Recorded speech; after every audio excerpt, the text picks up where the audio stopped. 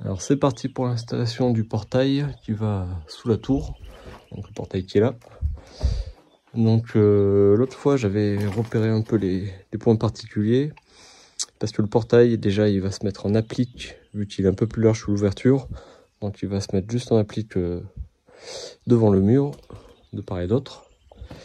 Et donc il va s'ouvrir vers l'intérieur. Donc en fait là on voit par exemple il y a cette pierre qui dépasse pas mal. Le mur est Donc bon, là, euh, en premier, je vais, je vais faire les cales de hauteur pour le niveau bas. Donc euh, c'est pas mal au-dessus du sol, mais au final, euh, le jour où la finition sera faite, le niveau du sol sera un peu plus haut. Donc voilà. Allez, c'est parti. Donc là, j'ai déjà mis ça qui est de niveau et un peu plus haut que la pierre qui dépasse ici.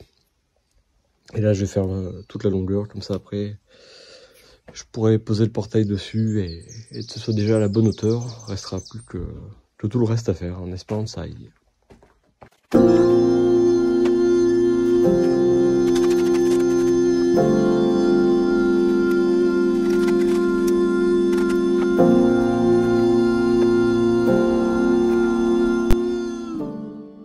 Après mise en place des cales, je trouve que cela fait un peu haut, donc euh, finalement je décide de découper la pierre euh, qui gêne pour pouvoir descendre le portail.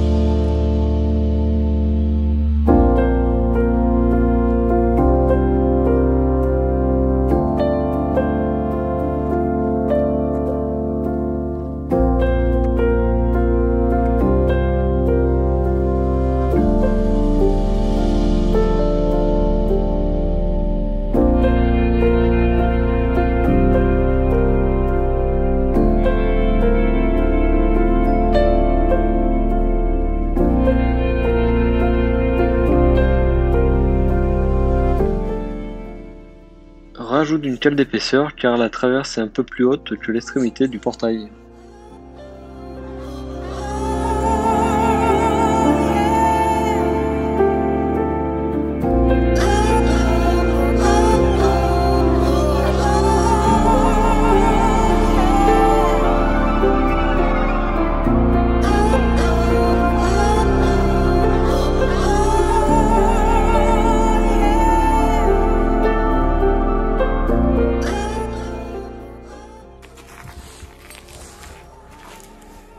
Alors du coup,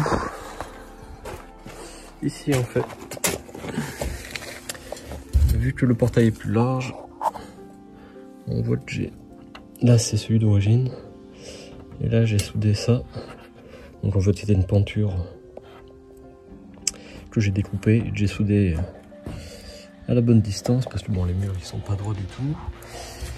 Et pour la partie long, c'est deux pentures avec euh, un, gond 16-16 euh, euh, ou 16, enfin je sais plus, en tout cas ça rentrait pile poil dedans avec un étau, fallait serrer fort mais du coup ça bouge très peu. Et après je mettrai un point de soudure en dessous pour celui d'en bas. Car ça rentre pas forcément très loin. Et donc en fait là dans l'idée, ça vient comme ça. En fait, pourquoi j'ai fait ça, c'est parce qu'on trouve des, des gonds en angle, mais ils sont beaucoup plus courts de chaque côté. Et je voulais pas être trop près du bord des pierres. Donc là, le truc, c'est comme les murs sont pas du tout droits. Ici, c'est bon. Hop, on voit, je suis contre le mur. Mais là, il va falloir que je fasse un petit, petit britoulage pour plaquer ça là-bas. C'est ce que je vais faire tout de suite. Donc là, je viens de le mettre, c'est plutôt pas mal. On voit de sa plaque toujours là. Ici, du coup, j'ai rattrapé comme ça la différence. Allez, je présente les autres, je mesure et je fais la même chose.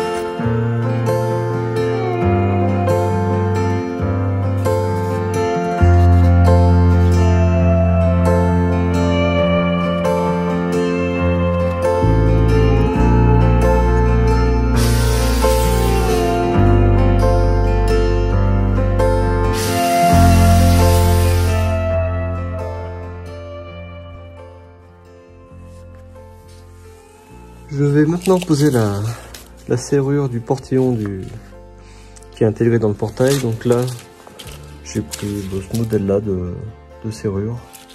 Donc une serrure en applique, que voici. Donc avec une poignée. Donc là c'est la serrure. Là, hop. Ça pour bloquer. Les clés, le petit cache. Donc là, dans un premier temps, je vais,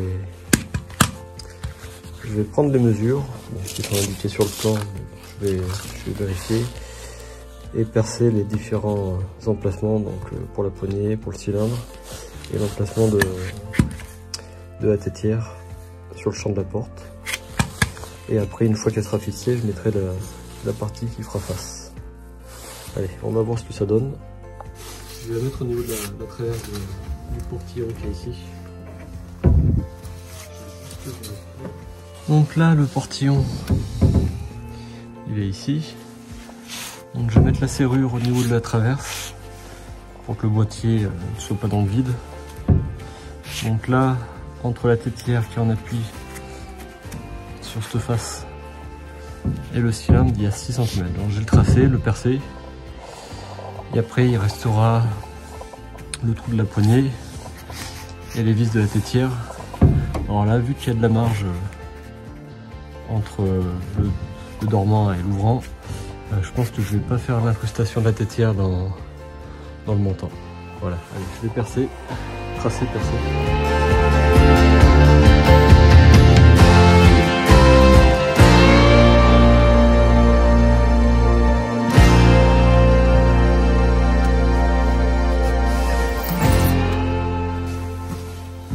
J'ai pris euh,